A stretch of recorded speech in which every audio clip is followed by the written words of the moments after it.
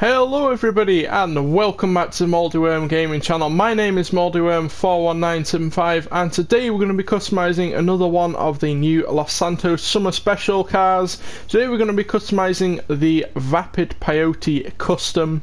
Finally we've got a custom version, a Lowrider Benny's version of the Peyote. I couldn't understand why they didn't add this in the original Lowriders update but they have finally decided to add it in the Los Santos Summer Special special update. But before we get into the customization, if you want to see any customization of the BF Club, the Yosemite Rancher, the Youga 4x4 or the Coquette D10, then I did a live stream the other day where I customized all four of those vehicles. I'm not going to be customizing them again, so if you want to see me customize those vehicles, then I will link the live stream down in the description.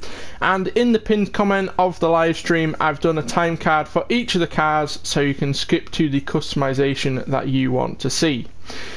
But today we're going to be customizing the Vapid Peyote. It costs 38 grand, uh, but you can also pick this thing up off the street. It is a very rare spawn, but you can actually find this on the street. I've already gone ahead and purchased the vehicle right here in the workshop. You've all seen the Peyote before. So let's just hop straight into the vehicle and customize the thing.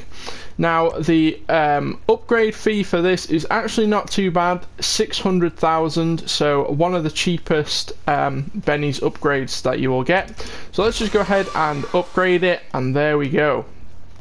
We have now got a lowrider Benny's version of the Peyote. So we can do all the armor brakes and everything. I'm just going to do the visual stuff as usual. And most of the visual stuff is actually standard peyote customization. So um, a lot of it, as you're going to see, is um, just what we can get on the regular uh, peyote. And similar to the Glendale that we customized about an hour ago, um, a lot of it is just the uh, the new uh, hydraulics and the subwoofer in the boot. That is about all we can get, and obviously some new liveries. But anyway, let's jump straight into it. We've got aerials. These are all standard on the irregular Peyote. We can get the classic aerials just there on the back. We can get the spring aerials, which are just a little bit bigger. Um, they just sit up there on the back of the vehicle, and we can get the globe like um, I don't even know what you call these, like ping pong ball sort of aerials. Uh, this is like a very sort of 50s, 60s thing. So if you want to go for that, you can. I'm just going to go for the classic aerials. I think that looks quite nice. And the tank, you can have secondary or chrome, or you can have the stock primary one. I'm just going to leave that the stock primary one. On the back you can go for a primary spare wheel or secondary. I like it without a spare wheel so we're going to leave that. The engine block, we have the stock Peyote engine block. We can go for the chrome, livery, chrome ribbed, primary ribbed, primary muscle and secondary muscle. I like the primary ribbed so we'll go with that. We can obviously upgrade the engine but I'm not going to bother. Um, the exhaust, we have the stock Peyote exhaust. We can go for the shotgun exhaust, which you can also get on the regular Peyote. You can get a titanium tipped, which is new. You can get the side exit exhaust, the dual shotgun, and the titanium dual shotgun, which are all new. I quite like the dual shotgun, so I think we'll go for that. The fenders, we can go for some curb feelers just down there at the front and back wheel. I'm not a huge fan of curb feelers, so I'm going to leave that off. The grill, these are all what you can get on the regular Peyote. We've got the chrome header grill, the chrome exposed grill, the chrome slatted grill, um, grill and the chrome tooth grill. I like just the chrome header grill. Um, it's basically just a removed badge version of the stock. Um, the hood, we can get the stock, we can have the cowl hood, we can have the dual filter blower, the primary peyote fil uh, blower, the secondary peyote blower, the oval intake bug catcher, and the triple intake bug catcher.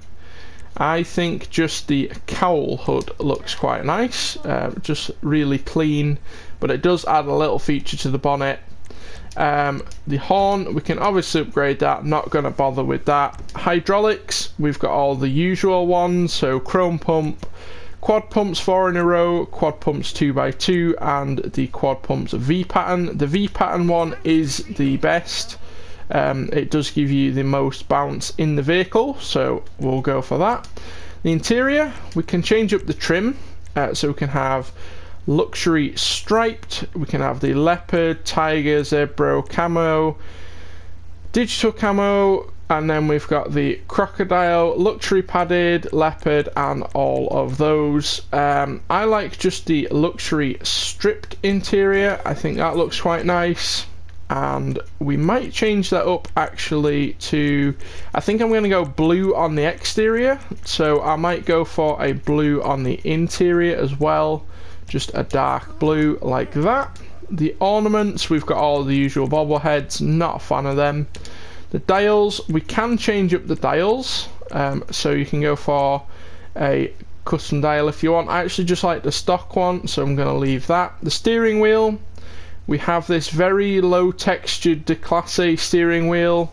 Um, so let's change that up for something a bit nicer. The cruiser, that actually looks really nice. We'll go for that. Column shifters, not a fan of them, so we'll leave that. We will go for a plate. I like just the Benny's Neon. The ice, we do have some ice speakers on the back. So we've got the square speaker shelf, round speaker shelf, integrated speaker shelf, and the extreme speaker shelf. As I said with the uh, Glendale, not a huge fan of them, so I'm going to leave that. The um, light colour, we'll just go ahead and set that to white just so it's a little bit clearer. The headlights we can go and change. They're like this stock sort of old yellowy kind of look. Looks really nice. You can obviously put xenons if you want to. Not going to bother with any neon lights today. Uh, the livery we have the pristine livery which just adds some nice little pinstriping along the side there. It adds um, some little bits around the wheel arches and a little bit over the hood there and a little bit on the boot lid. Looks really nice actually. I do like that. We've got the Misty which is kind of similar just like a white version of that uh, just with a little bit more pinstriping going on. We've got the green dash that actually looks really nice. I do quite like that. Um, we've got the Hot Shot, which is just the flames on the front. We've got Tribalistic, which is like a thicker pinstripe, all in white. Um, bit too crazy, not too keen on that one. The Plasma, again, um, a little bit too funky. I know this is kind of like a lowrider thing um, to make your car look like really sort of funky, but I'm not into that whole sort of liveried look. Um, but it is nice to see that if you are into that. We've got the Ace of Spades, we've got the Royalty, we've got the Tranquility, and we've got the Hellfire.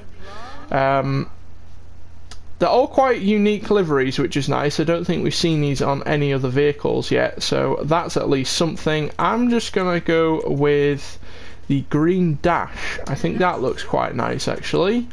On the plate, we'll just go ahead and set the plate holder to low and slow. And we'll set it to black and Moldy Worm Gaming. And then on the colour, right, so I feel like a dark blue with the green is going to look quite nice. I do think the white and green actually looks pretty cool though. Um, let's first have a look how the green and the blue looks. So I was thinking like a dark blue, like this, with the green. Um, not 100% sold on that. I actually think um, just classic white is actually going to look quite nice. Let's have a look how that looked. Um, maybe like the cream. Um, no, I think the ice white actually does look really nice. I do like that. The secondary colour, what is that going to change? Okay, so that's going to change that like striping on the seat there. Um, we're going to have to go ahead and change the uh, interior colour. Uh, so let's try and match it up a little bit with the sort of livery, I guess. Or we could actually go for the white interior. I think that's going to look the best match that up with the car and then the secondary colour which is going to change that striping on the seat um, I think we'll try and match that up with the livery so like a gasoline green maybe, or... Hmm. Yeah, I think gasoline green is the closest that we can actually get, so we'll go for that. That looks really nice now. The roof, we can go for a remove roof look. You can have the stock roof, which is this like zebra pattern one. You can have the leopard one, or you can have the zebra one. Um, I don't really like any of these. It's a shame we can't get just a sort of painted version, like a liveried uh, version of the roof. Uh, because I don't really like any of these like crazy like zebra and the leopard and the tiger. Um, I think honestly just the no roof option looks the best with the build. We can do the transmission, not going to bother. The trunk, we've got the square speaker shelf, round speaker shelf, garage trunk install, the twin sub trunk install, and the triple sub install. Um, I think the twin sub trunk install looks the nicest, so we'll go for that. You can put a turbo on if you want. Now the wheels, I feel like some Benny's original wheels will look quite good on this. Um, I do quite like them with the like that little like star like um, thing on the middle of the wheel. Uh, so we'll try and find some maybe with that. Um, all these are going to look a little bit too crazy so I think honestly these ones here and then paint those black or maybe we'll go white. Yeah we'll go white sort of to match it to the rest of the car. And then do we want to go for some pinstriping? Um, I don't think it really suits the car. So we'll leave the pinstriping off. You can go tyre smoke and bulletproof tyres. Not going to bother with that. The windows we don't really need to tint them because we've got a remove roof anyway. And that is the thing fully customized not a whole lot you can change compared to the regular Peyote like I said it's mainly just hydraulics and the trunk sub but um, it is a nice vehicle so let's take it outside and just see how it performs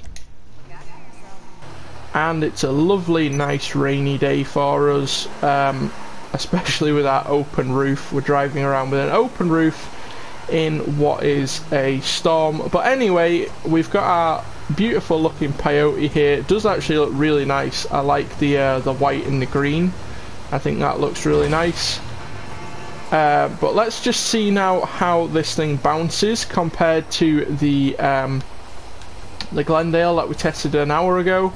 Now this thing, like the Glendale, has quite a big overhang on the back. So um, if you're bouncing it forwards like I am here, well, thank you NPC. If you're bouncing it forwards like I am here, it's not too bad. Um, I think if we try bouncing it on the back, yeah, it's going to bottom out a little bit, just like we had on the Glendale. Um, but it is nice that we have got a sort of lifted, lowered Benny's version now of the Peyote. You can obviously jump it if you want to but I like just driving it around sort of lowered. Looks really nice, nice little addition by Rockstar. I don't understand why they didn't add this with the original sort of lowriders update, but they have added it now anyway, so at least that's something. But that is going to do it for taking a look at the new Peyote custom customization. I hope you have enjoyed this video. If you have, please smash the like button and subscribe if you are new. We've got one more car that we're going to be customizing in an hour. We're going to be customizing the new uh, Manana. So if you want to see customization of that, then stick around on the channel. That's going to do it for today. Thank you all so much for watching. I hope you have enjoyed, and I'll see you in the next video.